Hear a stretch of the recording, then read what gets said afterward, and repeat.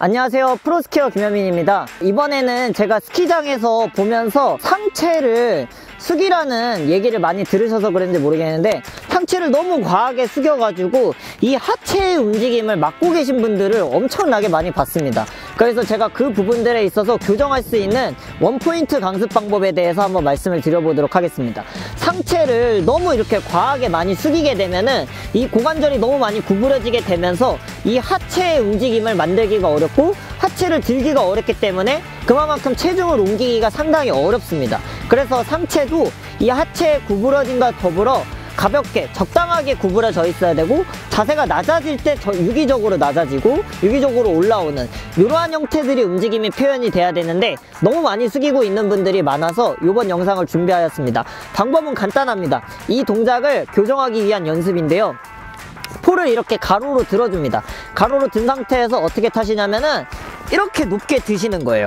이렇게 높고, 높게 들고 있으면 상체를 내가 만약에 숙이게 되면 이런 식의 움직임이 되겠죠? 그래서 팔을 높게 들고 있는 상태에서 이 하체의 움직임만으로 스키를 타보려고 하는 겁니다. 그래서 저희가 이 스키를 아래쪽으로 떨어뜨리는 스키가 이렇게 이 스키 방향이 아래쪽으로 떨어지는 움직임이 나올 때는 약간 이렇게 하체를 들기 때문에 앞으로 나오는 움직임 그 다음에 눌러줄 때는 정강이가 기대져 있는 상태에서 프레스가 될 수 있게끔 해주시는 겁니다. 제가 먼저 패러렐 턴을 한번 보여드리고 쇼턴으로도 보여드리고 카빙으로도 보여드리도록 하겠습니다. 아까 전에 말씀드린 것처럼 벌 쓰는 거 아닙니다. 벌 쓰는 거 아니고 상체각을 좀 세워놓고 하체로만 타기 위한 연습 방법이라고 생각하시면 됩니다. 자 이렇게 타보시는 거예요. 이 팔을 들고 있는 상태에서 오른발로 일어서면서 아래로 떨어뜨리는 거예요. 그럼 어떻게 상체가 구부러지지가 않죠? 이렇게 다리가 펴졌다가 다리가 구부러지는 거예요. 이렇게 다리가 펴졌다가 다리가 구부러지는 거죠 이게 팔이 이런 식으로 내려와 가지고 이 상체를 너무 많이 숙여서 이게 안 들리는 분들이 엄청나게 많습니다. 그래서 이 하체에 굴신 운동이 잘 안 돼가지고 체중 이동을 잘 못하시는 분들이 많기 때문에 이러한 연습을 하시게 되면 효과를 보시게 될 겁니다. 자 이번에는 제가 쇼턴으로 한번 보여드릴게요. 다시 한번 이렇게 가는 거죠. 쇼턴은 완전히 아래쪽으로 상체가 아래쪽으로 고정이 돼 있어야 되니까 이 상태 그대로 가려고 하시는 겁니다. 막 이렇게 좌우로 돌거나 기울어지지 않으려고 애쓰시는 게 가장 중요합니다. 자 포지션을 잘 잡아놓고 이 상태에서 하체로 타는 거예요.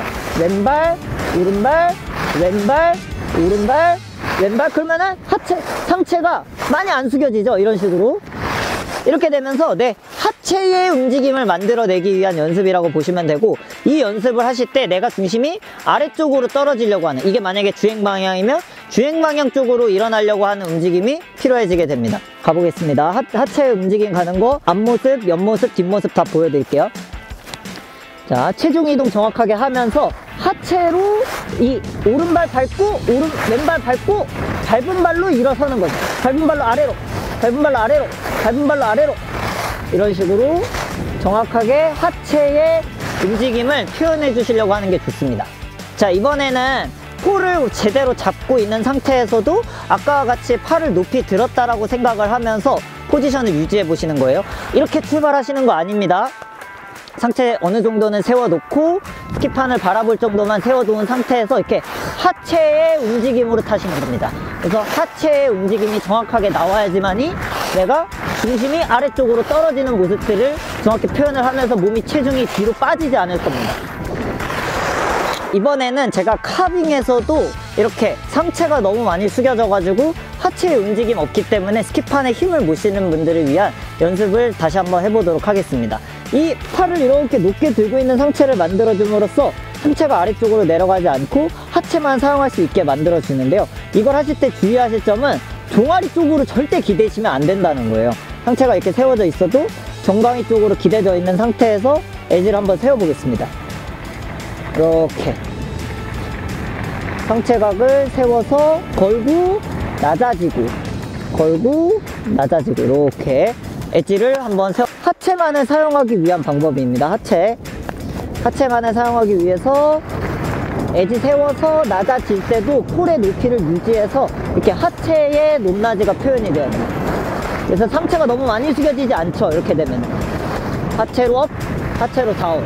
하체 세팅 하체 down 하체 세팅 하체 프레스 이렇게 내셔야 됩니다 이번에 다시 한번 해보겠습니다 주변 사람들이 많아가지고 약간 흔히 얘기하는 창피해서 못하겠다 이렇게 생각하실 수 있는데 동작을 교정하기 위해서는 어, 수단과 방법을 가리지 않겠다라는 마음으로 열심히 한번 해보도록 하겠습니다. 주변을 의식하지 않고 코를 높게 들고 있는 상태에서 하체 각으로만 타는 거예요. 자, 그래서 다 press하고 아래쪽으로 떨어질 수 있게 똑같이 걸어놓고 프레스, 걸어놓고 프레스. 자, 걸어놓고 프레스, 걸어놓고 프레스. 오케이. 자, 이렇게 제가 오늘 상체를 너무 많이 숙여가지고 하체를 들지 못하거나 체중 이동이 잘 안 되시는 분들을 위한 원포인트 영상을 한번 제작해 봤습니다. 어, 이번 영상도 시청해주셔서 감사하고요. 다음번에 더 좋은 영상으로 찾아뵙도록 하겠습니다. 감사합니다. 구독과 좋아요는 영상 제작에 큰 힘이 됩니다.